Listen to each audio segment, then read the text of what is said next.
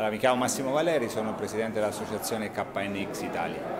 Eh, siamo venuti qui eh, a questa settimana della bioarchitettura e della domotica eh, per presentare e per eh, parlare dello standard KNX. Eh, standard che quanto mai è eh, importante e significativo in un evento come questo perché è diventato un elemento fondamentale per la gestione dell'efficienza energetica e per la messa in atto di sistemi per l'efficienza energetica nell'edificio. KNX è uno standard domotico europeo eh, che ha superato anche i confini della stessa Europa e si è diffuso a livello mondiale. E, mm, KNX eh, permette di eh, gestire politiche di efficienza energetica dell'edificio, permette di gestire il metering, cioè la contabilizzazione dell'energia all'interno dell'edificio.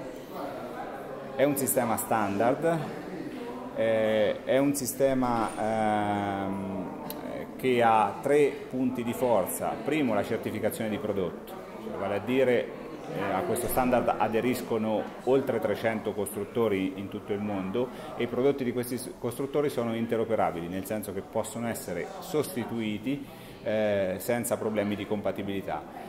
KNX garantisce anche il training e la formazione di tutti coloro che vogliono avvicinarsi a questo standard ed utilizzarlo e fornisce anche degli strumenti di configurazione come il software ETS che sono unici nel mondo KNX e indipendenti dal costruttore. Ma in, come in questo momento diventa importantissimo inserire all'interno della tecnologia dell'edificio un sistema domotico come fulcro di integrazione fra gli impianti eh, non si capisce perché tutto il mondo della tecnologia, dal mondo delle telecomunicazioni all'automobile, viaggia a velocità assurde, mentre la tecnologia dell'edificio, all'interno dell'edificio, è rimasta ferma essenzialmente agli anni 90 con la legge 46.